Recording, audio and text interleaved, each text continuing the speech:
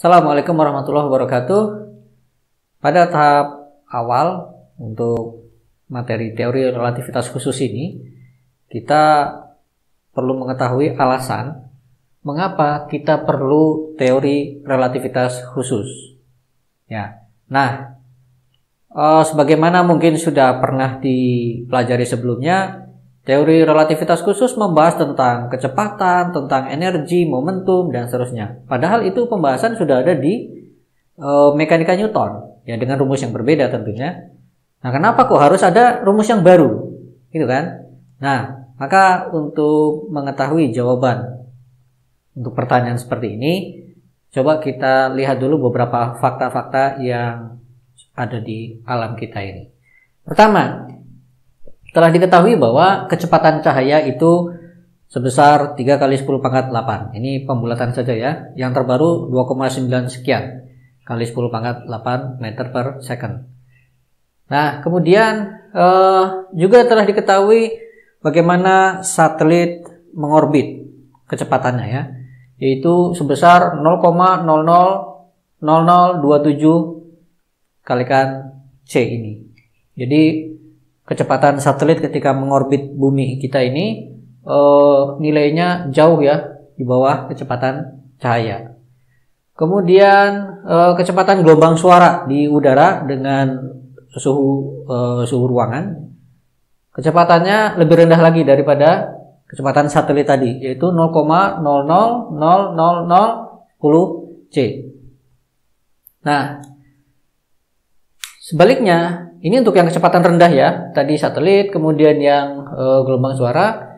Sekarang yang untuk kecepatan tinggi kita amati ada kalau elektron itu e, dipercepat dengan perbedaan potensial sampai 10 megavolt, maka diperoleh kita bisa memperoleh e, elektron dengan kecepatan yang mencapai 0,9988 C. Ya, hampir mendekati kecepatan saya ya. Gitu.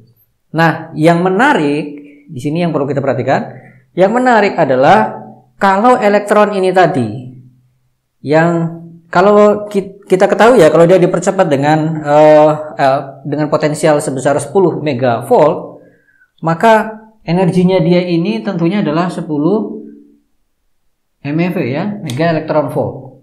Nah sekarang kalau energinya si elektron tadi itu diperbesar sampai 4 kali lipat ya sampai 4 kali lipat berarti menjadi 40 mega elektron volt dari 10 menjadi 40 mega elektron volt, maka fakta menunjukkan bahwa yang tadinya kecepatan elektronnya adalah 0,9988 C menjadi 0,9999 C. Ya. Bisa diperhatikan di sini ada sedikit keanehan ya sepintas kalau kita menggunakan uh, cara berpikir atau teorinya mekanika Newton. Nanti akan kita perjelas lebih jauh ya. Perhatikan dulu di sini kalau energinya awalnya 10 MeV dinaikkan menjadi 4 kali lipat, kecepatan partikelnya dari sekian menjadi sekian. Ya, kita catat dulu ini. Nah, kemudian dalam mekanika Newton secara prinsip tidak ada batasan maksimal bagi kecepatan suatu partikel. Jadi, suatu partikel Secara prinsip bagi mekanika Newton itu bisa saja memiliki kecepatan berapapun, tidak ada batasan maksimalnya. Nah, kemudian eh, berdasarkan data-data ini dan yang lain juga pada ranah makro, maksudnya ya kejadian sehari-hari yang bisa kita amati langsung dan juga beberapa hal objek-objek yang ukurannya besar begitu ya. Uh, Mekanika Newton itu bekerja dengan baik. Ya, kita bisa terapkan teori mekanika Newton untuk membahas fenomena-fenomena yang kita katakan dalam tata dalam ranah makro, gitu ya. Nah, sementara kalau dalam ranah mikro, mekanika Newton teramati memiliki penyimpangan yang cukup jauh. Ya, sebagaimana data ini ya, bagaimana data ini. 4 dan 5 ini. Gitu. Coba kita sekarang perjelas lebih jauh. Nah, kalau kita uh, lihat perhitungan dari 4 ke 5 ini ya. Sekarang ini saya hapus dulu. kalau awalnya energi elektron itu 10 MeV lalu dinaikkan menjadi 40 MeV berarti 4 kali lipat ya kan? Perbandingannya maka menurut mekanika Newton kita dapat menghitung begini. Untuk energi yang 40 MeV ini tentunya adalah setengah masa elektron kalikan kecepatannya ketika energinya 40 ya 40 ini kuadrat. Lalu yang ini berarti didapat dari setengah masa elektron kalikan kecepatannya ketika 10 eh, MeV ini. Ini juga dikuadratkan. Maka kalau kita lihat eh, bagian sisi yang ini ya, sisi yang ini, kita dapat memperoleh ungkapan seperti ini. V40 kuadrat dibagi V10 kuadrat. Atau kita bisa tuliskan V40 itu sama dengan uh, akar dari 4 dikalikan V V10 kuadrat atau sama dengan 2 kalikan V10. Kalikan eh, uh, V10-nya tadi tentunya adalah yang ini, berarti 2 kalikan 0,9988C, maka yang kita peroleh adalah 1,9976C. Ya, kita akan dapatkan data itu.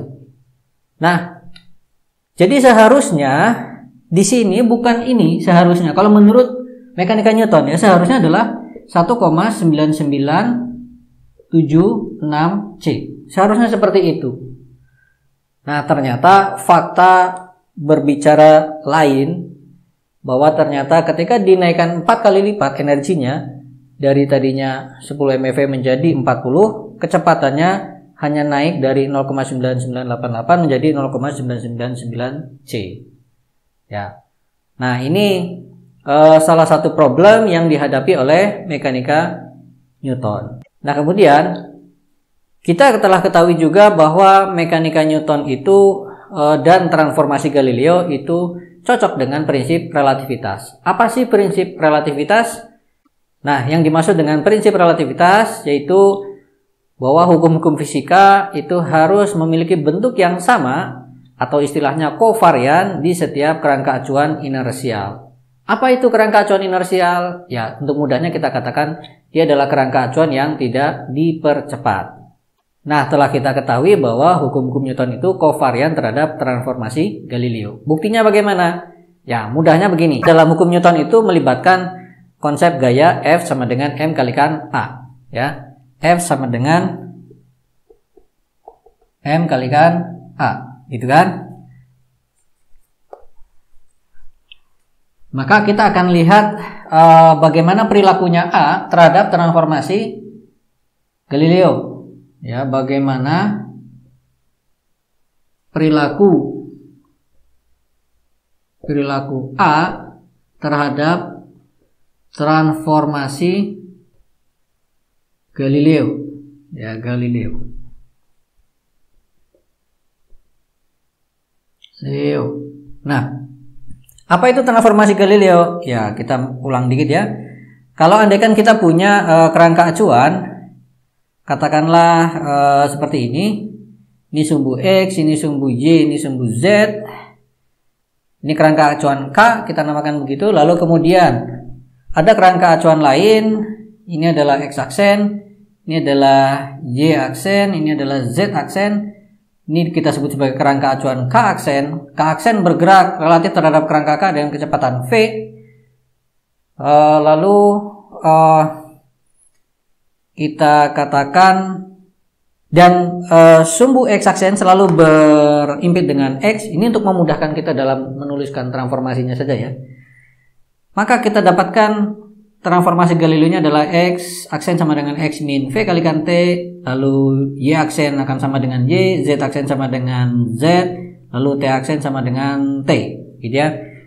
Dan ini dengan catatan ketika uh, pusat koordinatnya si ini itu O aksen, ketika T sama dengan 0, O aksen berimpit dengan uh, O ya, berimpit dengan O.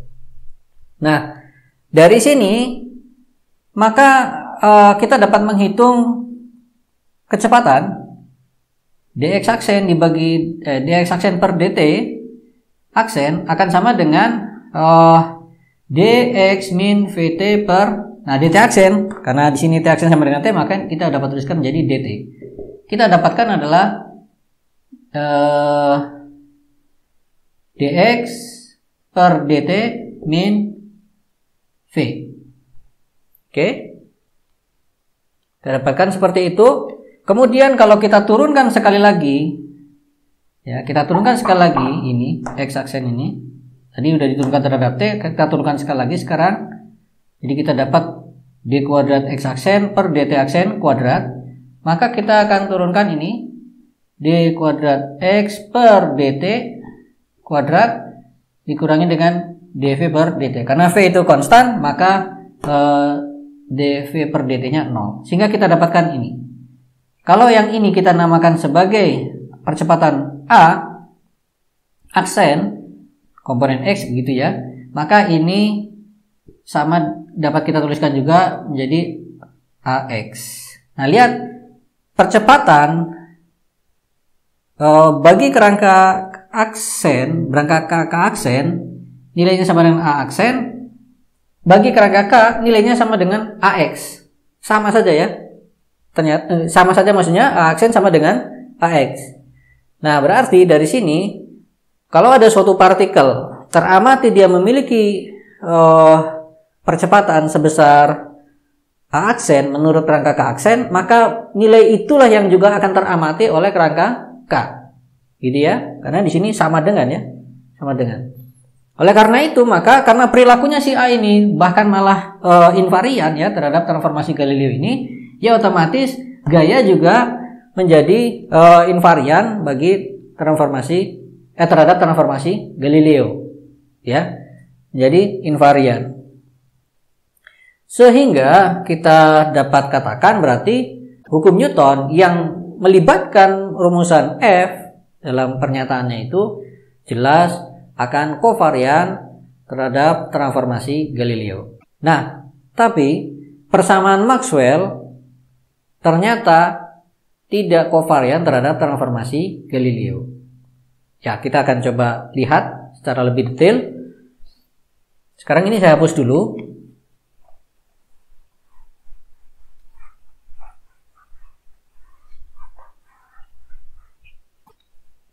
Dalam uh, ruang hampa ya, dalam ruang hampa, persamaan Maxwell itu dapat kita tuliskan sebagai nabla.b aksen sama dengan 0, kemudian 1 per C parsial B per DT parsial T plus nabla cross E sama dengan 0 kemudian nabla dot E sama dengan 0 dan 1 per C parsial E per parsial T plus nabla cross B sama dengan 0 uh, eh, minus ya minus. Oke ini persamaan Maxwell dalam ruang hampa. Nah persamaan ini dapat kita robah atau dari sini kita dapatkan bisa mendapatkan persamaan seperti ini. Minus 1 per C kuadrat parsial kuadrat E per parsial T kuadrat eh, plus nabla kuadrat E sama dengan 0. Begitu juga untuk yang B kita bisa dapatkan minus 1 per C kuadrat parsial kuadrat B per parsial T kuadrat plus nabla kuadrat B sama dengan 0. Nah, dua persamaan ini tidak lain merupakan persamaan gelombang tiga dimensi ya, versi tiga dimensi. Bentuk persamaan gelombang satu dimensinya sebagaimana biasa kita ketahui tentunya adalah seperti ini ya.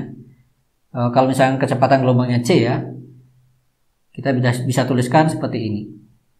Nah, ya, lalu eh, ini misalkan kita katakan dia bergantung pada x dan t plus uh, parsial kuadrat besi xt parsial x kuadrat sama dengan 0. Oke.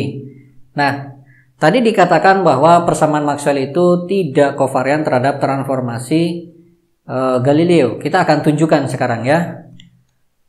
Kalau tidak kovarian itu atau kalau kau kalau kovarian maka seharusnya kalau ini tadi adalah persamaan gelombang dalam kerangka K, maka dalam kerangka K aksen harusnya akan didapatkan seperti ini. Ya, ini X aksen, ini T aksen, lalu ini adalah DT parsial T aksen kuadrat, lalu ini adalah parsial kuadrat besi X aksen T aksen per parsial X aksen kuadrat sama dengan 0. Ya, jadi persamaan Maxwell ini atau kita nyatakan kita tinjau hanya satu dimensinya saja seperti ini. Misalkan besi ini menyatakan EX, EY, EZ atau BX, BY, BZ dan misalkan dinyatakan dalam kerangka K berlaku persamaan gelombang ini maka dalam K aksen harus berlaku seperti ini kalau dia kovarian gitu ya jadi kita akan tanyakan apakah kalau ditransform dengan transformasi Galileo kita akan dapatkan bentuk persamaan gelombang yang sama di kerangka ke aksen. Oke? Okay? Atau sebaliknya, da, kalau kita punya persamaan gelombang di kerangka ke aksen, apakah ketika digunakan transformasi Galileo akan didapatkan persamaan gelombang yang sama di kerangka K? Ya. Nah, sekarang uh, kalau kita hitung turunan parsial besi terhadap si X sementara kita asumsikan pesi itu bergantung pada X aksen dan T aksen tadi ya seperti ini maka kita akan dapatkan begini pesi per pesi X aksen pesi uh, parsial pesi per parsial X aksen lalu parsial pesi per parsial X. Ditambah dengan parsial pesi per parsial uh, T aksen kalikan parsial T aksen per parsial X. Kemudian begitu juga kalau kita hitung parsial psi per parsial t, kita akan dapatkan parsial psi per parsial x aksen, parsial x aksen per parsial t ditambah dengan parsial psi per parsial t aksen, parsial t aksen per parsial t. Nah, padahal tadi transformasinya adalah eh, x aksen sama dengan x min vt, lalu y aksen sama dengan y, z aksen sama dengan z, t aksen sama dengan t. Maka uh, ini tentunya sudah nggak perlu pakai parsial ya. Yang mana ya? Oh yang ini salah ya saya salah. Harusnya ini x aksen ya aksen nah ini harusnya sudah nggak perlu parsial. Berarti ini saya boleh tulis begini. Ini juga sama ya. Saya tulis seperti ini. Ya. Ini juga. Nah gitu ya. Dan ini juga. Oke. Nah, kita akan membutuhkan data-data ini ya. Ini, ini, lalu ini, dan ini. Oke. Dx aksen per dx. Kita coba hitung dx aksen per dx. Kita dapatkan berarti sama dengan uh, satu ya. Karena ini 0 ya. Diturunkan terhadap x ini adalah 0. Kemudian kita butuh dt aksen per dx dt aksen per dx. Kita lihat t aksen hanya bergantung pada t, berarti ini sama dengan 0. Kemudian mana lagi? dx aksen per dt. dx aksen per dt. Kita lihat aksen bergantung pada t di sini suku kedua berarti ini adalah sama dengan minus v. Dan tiga keempat dt aksen per dt. dt aksen per dt. Nah, t aksen sama dengan t berarti dt aksen sama dengan dt aksen per dt sama dengan satu. Oke, jadi ini dapat kita tuliskan sekarang menjadi uh, parsial psi per parsial x ya parsial psi per parsial x dx per dx nya adalah 1 plus. Lalu parsial psi per parsial t aksen dx dia adalah dt aksen dx adalah 0 berarti ini sudah. Oke kemudian uh, x aksen ya kemudian yang Kedua, parsial psi per parsial t. Ini parsial psi per parsial x aksen. Lalu dx aksen per dt-nya adalah minus v. Saya tulis di depan minus v. Kemudian e, parsial psi per parsial t aksen lalu dt aksen per dt-nya sama dengan 1. Oke. Maka yang ini dapat kita tuliskan sebagai minus V parsial per parsial X aksen ditambah dengan parsial per parsial T aksen kalikan besi. Ya. Oke, selanjutnya ini saya hapus. Selanjutnya saya coba turunkan ini sekali lagi. Turunkan secara parsial. Jadi saya dapatkan begini. Berarti saya tulis bisa tulis seperti ini, parsial parsial X, parsial C per parsial X. Nah, padahal lihat parsial per parsial X besi itu sama dengan langsung saja ganti dengan parsial X aksen. Berarti kalau diturunkan sekali lagi, ini dapat kita tuliskan menjadi uh, parsial per parsial X, ini parsial besi per parsial X aksen, Lalu ini juga bisa kita ganti menjadi parsial per parsial X aksen, parsial besi per parsial X aksen. Sama dengan parsial kuadrat per parsial X aksen kuadrat besi. Oke. Nggak susah ya kalau yang bagian yang pertama ini. Sekarang yang ini. Coba kita hitung parsial besi per parsial T kuadrat sama dengan parsial per parsial T, parsial besi per parsial T sama dengan ini dulu kita ubah yang dalam kurung ya. Parsial C, parsial T adalah ini dia ya. Dia yaitu minus V parsial besi per parsial X aksen plus parsial besi per parsial T aksen. Padahal ungkapan parsial per parsial T ini ya. Ungkapan ini bisa kita gantikan dengan yang ini. Oke, coba kita gantikan menjadi minus V parsial per parsial X aksen plus parsial per parsial T aksen dikenakan pada uh, yang depan ini ya. Itu minus V parsial besi per parsial X aksen plus parsial besi per parsial T aksen. Kita coba selesaikan. Ini dengan ini menjadi V kuadrat parsial kuadrat per parsial X aksen kuadrat besi. Lalu ini dengan ini menjadi minus V parsial besi kuadrat ya per parsial X aksen parsial T aksen. Kemudian ini dengan ini menjadi minus V parsial kuadrat besi parsial kita bisa tuliskan begini urutannya parsial X aksen parsial T aksen. Lalu terakhir ini dengan ini menjadi plus parsial kuadrat besi per parsial T aksen kuadrat. Atau kita uh, sederhanakan bentuknya menjadi parsial V kuadrat parsial kuadrat besi per parsial X aksen kuadrat min 2V parsial kuadrat besi per parsial X aksen parsial T aksen plus parsial kuadrat besi per parsial T aksen kuadrat. Oke, maka sekarang kalau ini kita gabungkan ini dengan ini, yang ini ya, kita akan dapatkan begini. Uh, saya tulisnya di mana ya? Oke, di sini aja ya. Saya tulis di sebelah sini.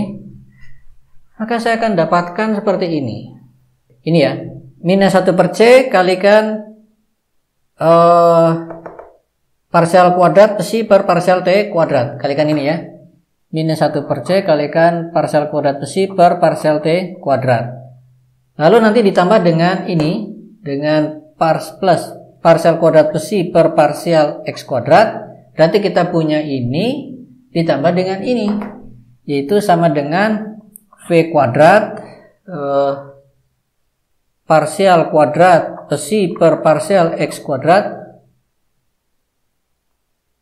Ini kalikan seperce ya berarti minus seperce itu lalu plus 2V per C parsial kuadrat besi per parsial X aksen aksen ya parsial T aksen lalu plus 1 per C parsial kuadrat besi per parsial aksen kuadrat. Lalu plus ini berarti plus parsial kuadrat besi per parsial X aksen kuadrat ya. Harus sama dengan 0 karena tadi ini ini plus ini sama dengan 0 jadi ternyata apa yang mau kita lakukan tadi itu uh, keliru ya bukan dari K aksen ke K, kita akan proses kalau kita punya persamaan di K, persamaan gelombang di K, bagaimana bentuknya di, di kerangka K aksen. kalau kita transform menggunakan uh, transformasi Galileo ya. Ini yang kita proses ternyata seperti itu ya. Nah, sehingga kita dapatkan sekarang kita bisa perhatikan di sini ya. Uh, dua suku terakhir ini ya.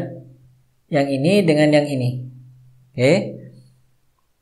Ini dan ini ternyata memenuhi bagian oh ini harusnya minus tadi. Mana minusnya? Sini minus ya. Ya. Dua suku ini memenuhi yang ini dia.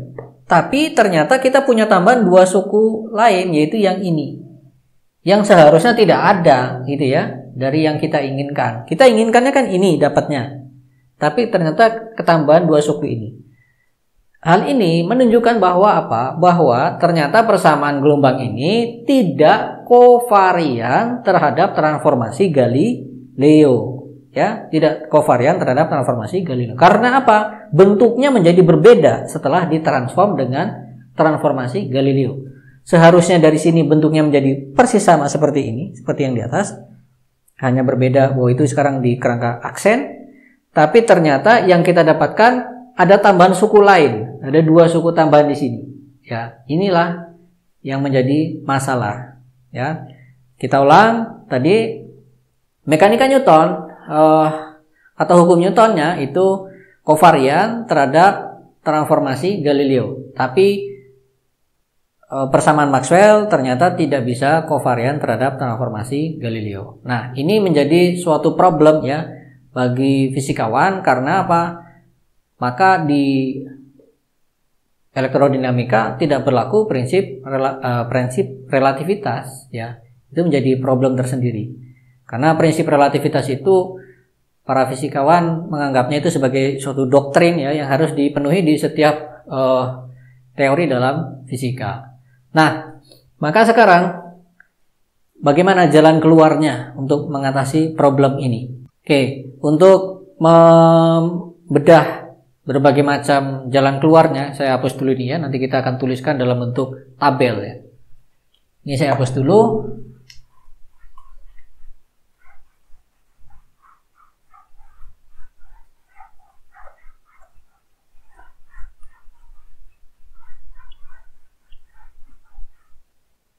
Kita tinjau tadi ada teori atau e, mekanika Newton ya.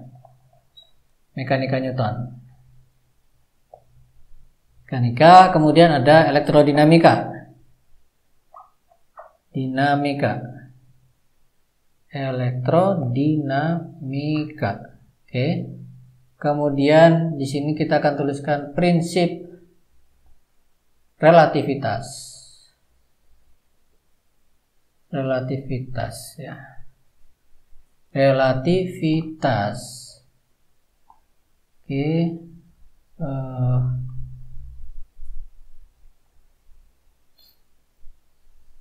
nah begini ya ini untuk solusi pertama karena nanti ada beberapa tawaran solusi ya ini transformasi antar kerangka acuan inersial. Oke. Solusi kedua dan nanti ada solusi ketiga. Oke. Solusi pertama bahwa prinsip relativitas itu berlaku untuk mekanika. Ya, sebagaimana tadi sudah kita ketahui ya, hukum Newtonnya uh, jelas kovarian transformasi Galileo, maka kalau ini berlaku berarti transformasinya harus transformasi Galileo. Galileo. Oke. Kemudian bagaimana dengan elektrodinamika?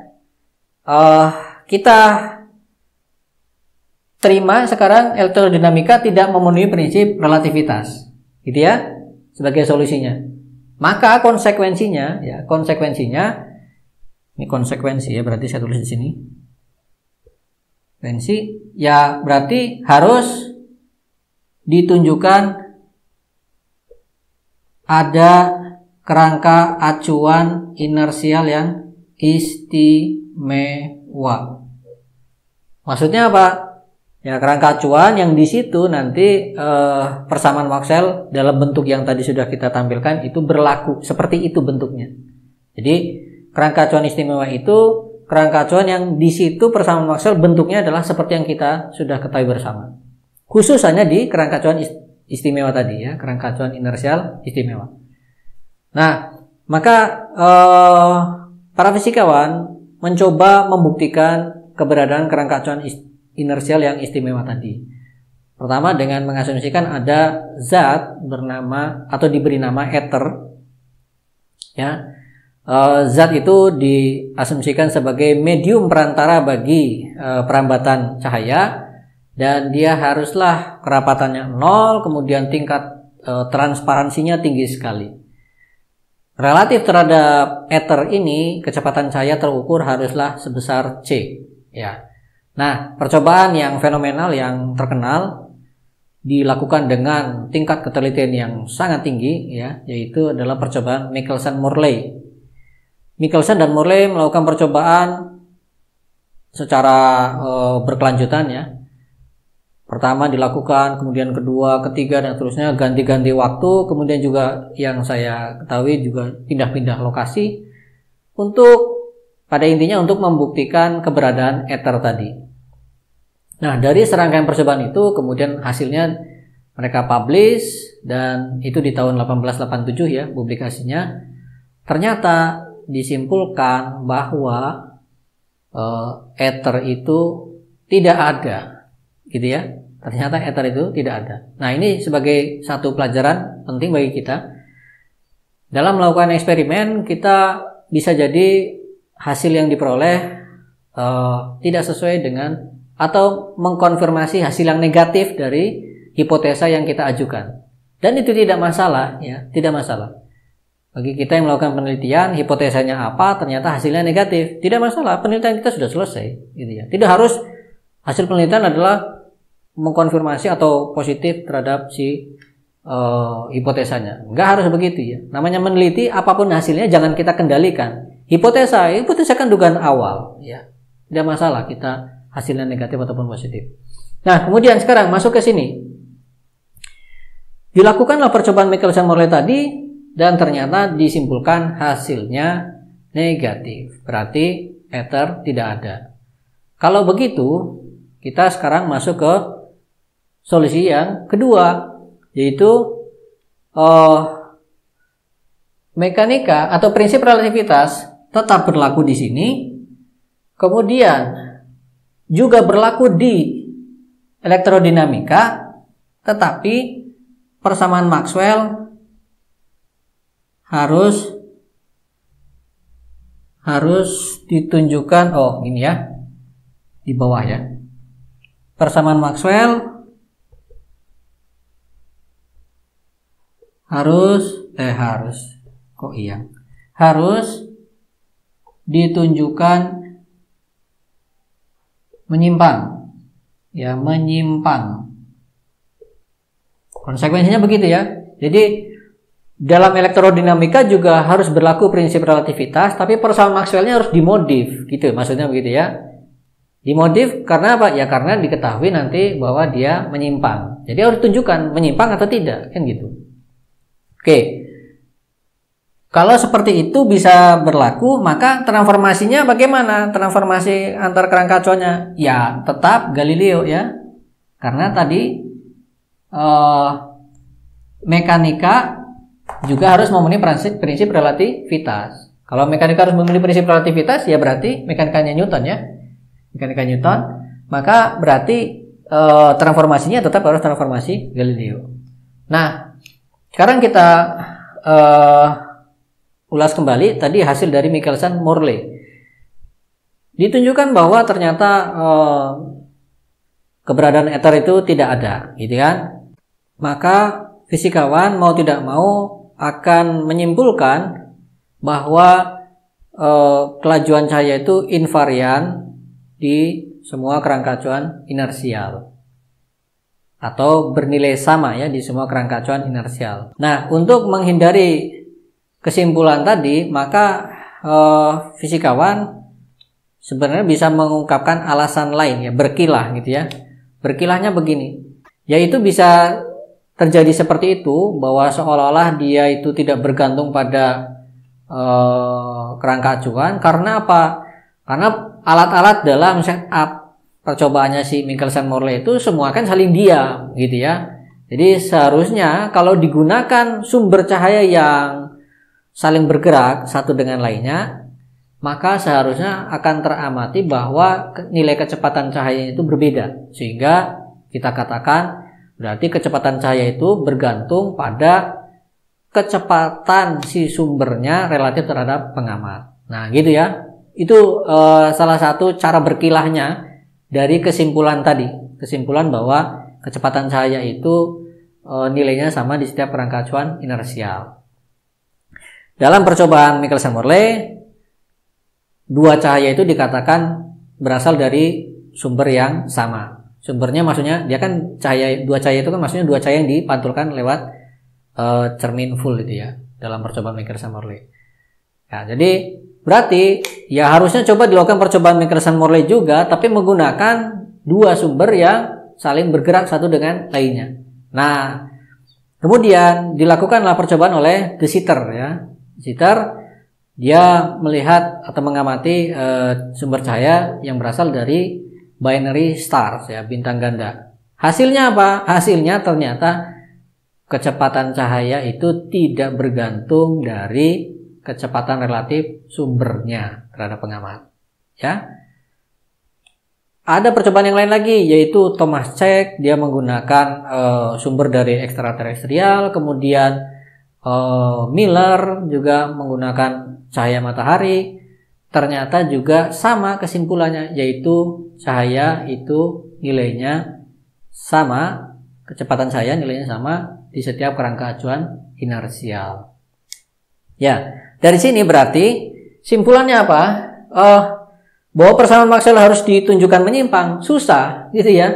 Ternyata memang persamaan Maxwell memang seperti, uh, berlaku untuk setiap kerangka acuan inersial. Simpulannya begitu ya. Berarti yang ini sudah fix, ini tidak boleh kita eh, ini tidak akan bisa terkon, ini tidak terkonfirmasi maksudnya.